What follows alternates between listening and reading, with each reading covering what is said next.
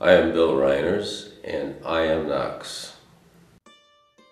A lot of my activities had to do with Green Oaks as a matter of fact.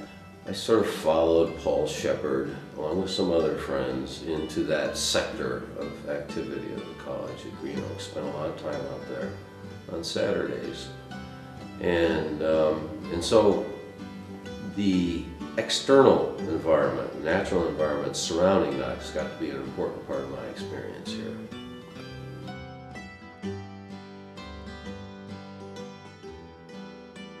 He was able to incorporate a sense of beauty, mystery, science, understanding how it all happened, sense of history, how long it had all been around, and it tied in with former human occupation too, how had been settled in the 19th century, how had been abandoned with the coal mining out there, but also with the uh, Great Depression.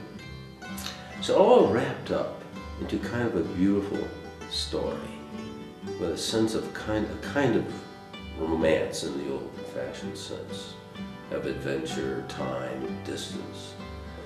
We would go out to Green Oaks on a Sunday afternoon and walk through the snow and look at animal sign, and then he would bring us home, probably somewhat to his wife's dismay, you know, for a little evening hot chili before we came back to campus. And that was a precious experience.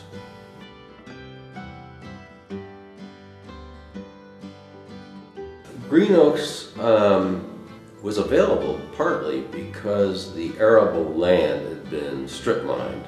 So part of it is strip mine, part of it were just fragments of fields that were left on old prairie flat, more or less flat ground.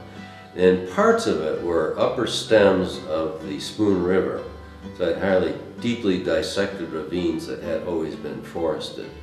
And then there were peninsulas of flat land between some of these ravines that had a fairly old spreading oaks, oaks that had invaded since settlement time. Prairie restoration was very new at that time, and Knox was kind of a leader among a group of colleges in techniques to restore prairies. It's not that easy to get some of these prairie grasses to grow. Uh, many of the seeds are just not fertile, or we don't know how to get them to sprout. And, uh, and so Paul, Paul and, and, George Ward were really kind of pioneers in, in the reed prairie development um, at that time.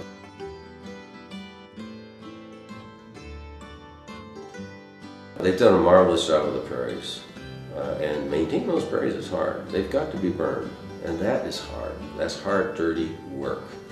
The reforestation of the strip mine piles is much advanced.